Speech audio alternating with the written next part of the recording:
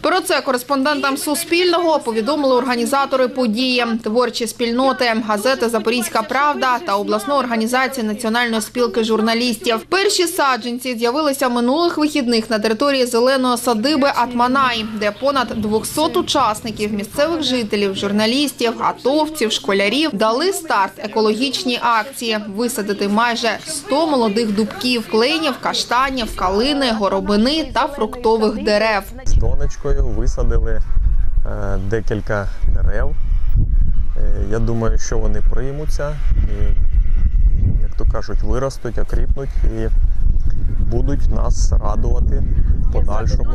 Ці дерева, ці саджанці ми збирали по всій Україні, надали і Київське лісництво, і Мирненське е, лісогосподарство, і Запорізьке лісництво, і Приазовський національний парк.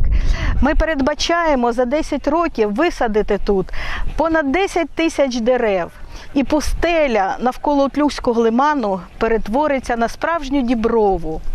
Місцеві школярі розробили цілий план е, з організації екопарку. Ми хочемо таку акцію продовжити і висадити зелене насадження на узбережжі Утлюцького лиману.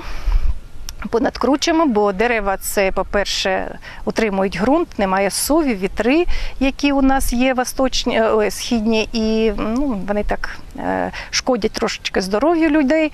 А ще найголовніше дерево це пам'ять, яка збережеться про нас.